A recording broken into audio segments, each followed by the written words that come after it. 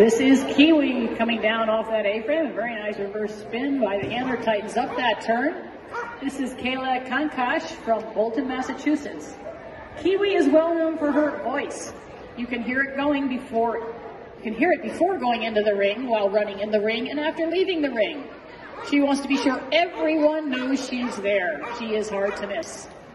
She loves the game of agility, but really loves to do anything with me. She is an amazing partner.